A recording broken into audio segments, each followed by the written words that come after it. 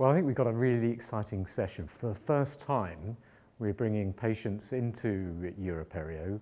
We're going to, we're producing a documentary video film which is going to give the patients the opportunity to tell their story. How does periodontitis affect them? What difference does it make to their lives? What impact has it had to their, had to their lives, had on their lives?